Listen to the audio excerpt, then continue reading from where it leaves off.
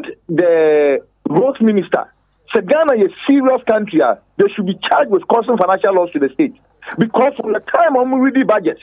a ɔmode ahopɛprɛ kɔtwa tɔ boot mu a ɛde ɔntɔ hardship abrɛ ghana yɛ revenues. Ah, a ɛnnɛ wasan agyina eh, finsisimpie so akɔka kyerɛ ghanafoɔ sɛ ɔsan bɛretoli eh, roads no mm-hmm. in fact they should apologize and sɛ ghana yɛyɛ serious as a country a in fact the finance minister and the road minister having come back to this case eh, they are coming back to the toll booth. They should have even resigned. You see? Di agyen na ɛkɔɔ mu asɔman sɛ yɛn yɛn close toll booth.